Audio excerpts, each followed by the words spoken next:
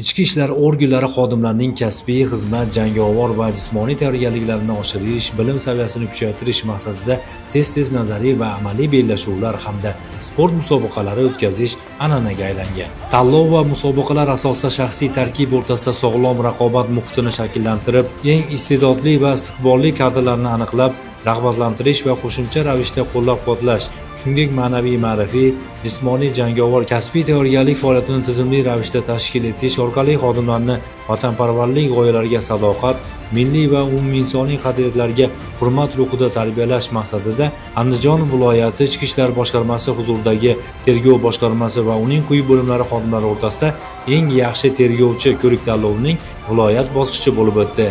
Unda sohada xizmat qilayotgan tergovchilar va surishtiruvchilar ishtirok etishdi.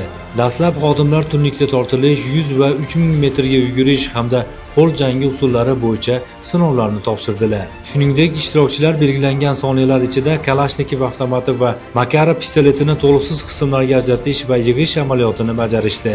Ular bilan o'tkazilgan psixologik testda xodimlarning ruhiy holati va boshqa xislatlari o'rganildi.